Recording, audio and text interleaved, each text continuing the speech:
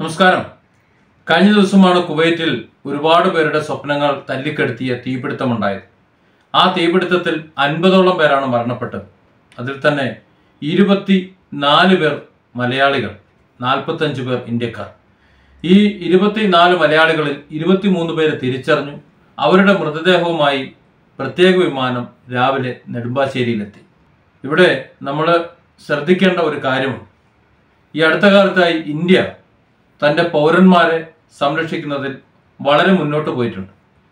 മുമ്പ് ഫ്രാൻസ് പോലുള്ള പല രാജ്യങ്ങളും മറ്റ് രാജ്യങ്ങളിൽ കുടുങ്ങുന്ന പെട്ടുപോകുന്ന അവരുടെ പൗരന്മാരെ രക്ഷപ്പെടുത്തിയെടുക്കുന്നതിൽ കാണിക്കുന്ന ആ ഒരു താല്പര്യവും പ്രവർത്തനവും നമ്മൾ അസൂയോടുകൂടി നോക്കിക്കൊണ്ടിരുന്നിട്ടുണ്ട്. എന്നാൽ കഴിഞ്ഞ കുറച്ച് കാലമായി അതിനപ്പുറത്തേക്ക് വളർന്നിരിക്കുന്നു ഇന്ത്യ എന്ന് തെളിയിച്ചുകൊണ്ടിരിക്കുക മുമ്പ് ഖത്തറിൽ എട്ട് പേരെ വധശിക്ഷയ്ക്ക് വിധേയരാക്കുന്ന ഒരു സാഹചര്യം വന്നപ്പോൾ ഇന്ത്യ കൃത്യമായി ഇടപെടുകയും അവരെ ഇന്ത്യയിലേക്ക് കൊണ്ടുവരികയും ചെയ്തു. കാരണം അവർ ഇന്ത്യൻ പൗരന്മാരായിരുന്നു. ഇന്ത്യൻ പൗരന്മാർ വിദേശത്ത് അപകടത്തിൽപ്പെടുമ്പോൾ അവരെ സഹായിക്കാൻ ഇന്ത്യൻ എംബസി എന്നത് എത്തില്ല എന്നുള്ള പഴയ കാഴ്ചപ്പാടിന് മാറ്റം വന്നു തുടങ്ങുകയാണ്.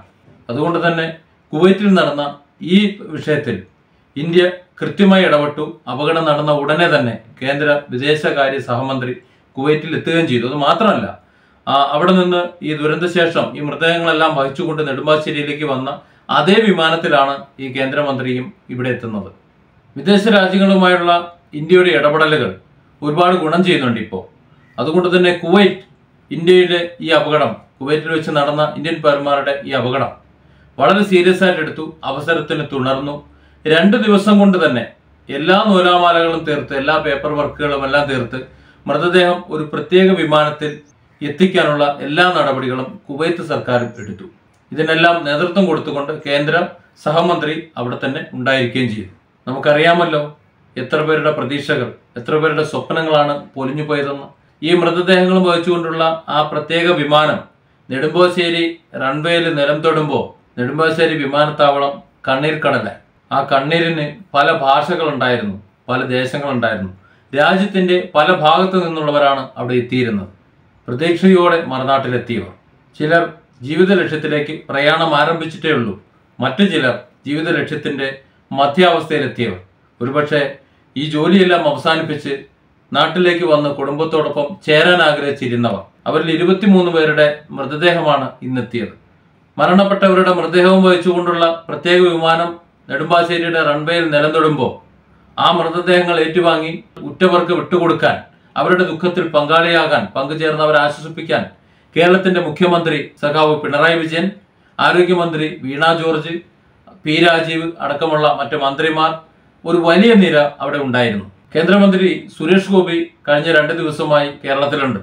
അദ്ദേഹത്തിന്റെ തെരഞ്ഞെടുപ്പ് വിജയത്തിന് ശേഷം അദ്ദേഹത്തിന്റെ പല സ്വകാര്യ ചടങ്ങുകളും അദ്ദേഹം നിർവഹിച്ചുകൊണ്ടിരിക്കുന്ന അതിനിടയിലാണ് ഇത്തരത്തിലൊരു ദുരന്ത വാർത്ത അദ്ദേഹത്തെ തേടിയെത്തുന്നത്. തൃശ്ശൂരിലെ അദ്ദേഹത്തിന്റെ ആ വലിയ വിജയം ആ വിജയത്തിന്റെ സ്വീകരണങ്ങൾ ഏറ്റുവാങ്ങേണ്ട ദിവസത്തിൽ ഇത്രയധികം ഒരു ദുരന്തം നടക്കുമ്പോൾ ആ സ്വീകരണങ്ങളും അതും എല്ലാം മാറ്റിവെച്ചുകൊണ്ട് അതല്ല പ്രാധാന്യം എന്ന് മനസ്സിലാക്കി ഉറ്റവർ നഷ്ടപ്പെട്ടവരുടെ ദുഃഖത്തിൽ പങ്കുചേരാൻ നെടുമ്പാശ്ശേരിയിൽ എത്തുകയും അവരെ ആശ്വസിപ്പിക്കുകയും അവരോടൊപ്പം ചേർന്ന് നിൽക്കുകയും ചെയ്തു. അവിടെ കൗതുകകരമായ ഒരു കാഴ്ചയുണ്ടായിരുന്നു.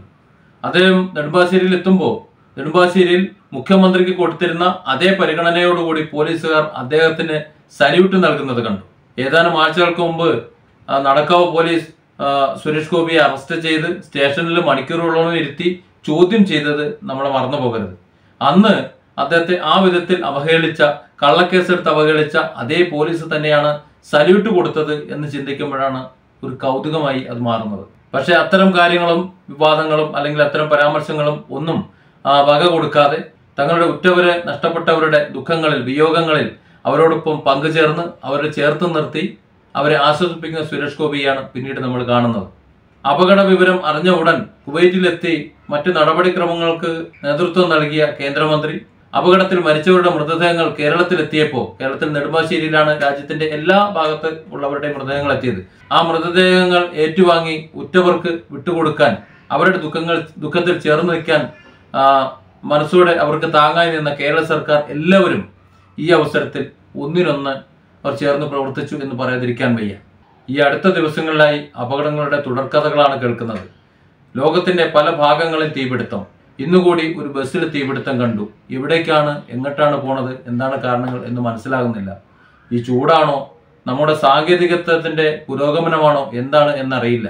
ഏതായാലും ഷോർട്ട് സർക്യൂട്ട് എന്ന ഒരൊറ്റ കാരണം അൻപത് പേരുടെ ജീവനെടുത്തപ്പോൾ അത് കേരളത്തിൽ ഏറ്റവും അധികം ദുഃഖമായി മാറി എന്നത്